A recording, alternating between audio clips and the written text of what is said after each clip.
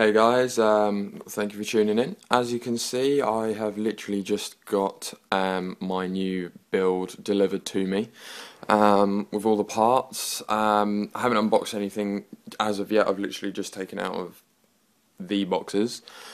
Um, the only thing I'm waiting for now is the CPU, which is the Ivy Bridge i7 3770K, uh, which is actually coming tomorrow. Um, so I will be putting most of the system in today, um, other than obviously the CPU cooler and the CPU.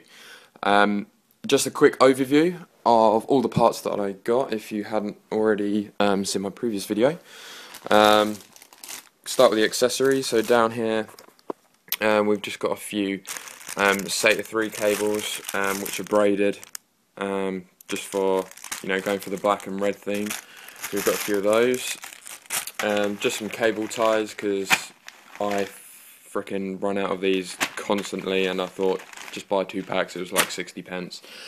Um, down here we have the Seagate Barracuda 1 terabyte. Um, this is just to store all of the videos and music and shiz on. Then here we have the um, 120 gigabyte Corsair SATA 3 Force series. Um, I've got two of them. What I plan to do is RAID zero them to make um, a ridiculously fast speed. Uh, the read and writes on this are really good as well. Um, you can just Google it and find out what they are. Um, over here, we've got the Sentry Mix N uh, NZXT um, fan controller with LEDs that light up on 1, 2, 3, 4, 5 and 6 um, just for the front of the case um, which is very handy. Over here we go to the RAM. We've got 16 gigabytes of Vengeance Corsair uh, DDR3 RAM. Um, I did these are sort of more sort of low profile kind of um, but they do run at 1.5 volts um, which I prefer um, just means less heat. So we've got that. Over here this is the baby. We've got a 2 gigabyte GDDR5 memory EVGA GeForce GTX 680 superclocked edition which runs at a higher clock speed and high megahertz um, as you can see here. Um, looking forward to uh, testing out this. Eventually, in the future, I will be getting one more and running them in SLI, but this I have heard will pretty much run any game on max settings on, by itself. Okay, we move on to the power supply, which is pretty one hefty beast. Now, some people might say this is a bit overkill. Um, the reason I got it is because I'm always upgrading, and if I do um, eventually sell my other build, um, which is on eBay, I may post a link to that on this video. The reason being is I can use this for future systems as well, not just this one. Um, so it's the OCZ 1000 watt uh, ZX series. Um, it's 80 plus gold, um, fully modular.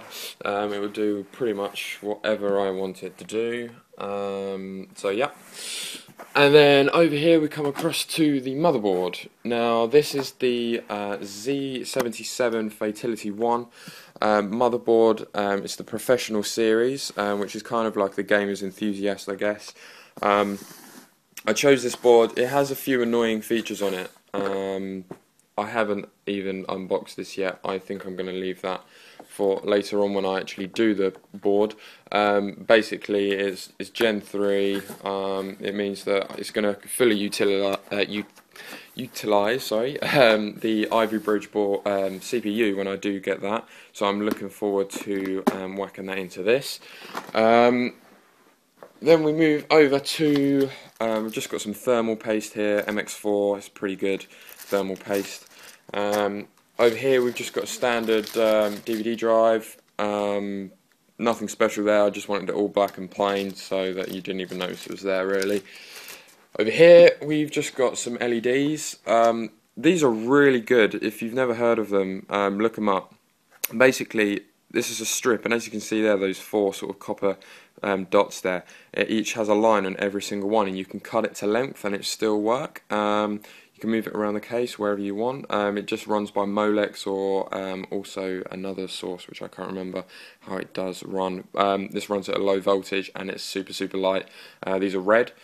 Um, moving on here we've just got the um, N300 wireless PCI Express adapter.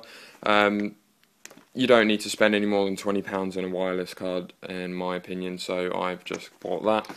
Um, then we come over to the cooler. Um, previously my last build I had the um, what did I have? I had the H2O 920 um, CPU cooler. This is kind of like stepping up a bit now.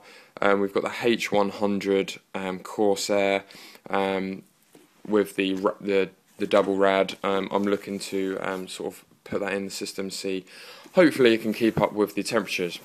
Now finally, um, the last but not least, um, we've got the Obsidian 650D case. Now I bought this because not only is it pretty um, elegant looking. I haven't taken off the wrapping, which I will do eventually.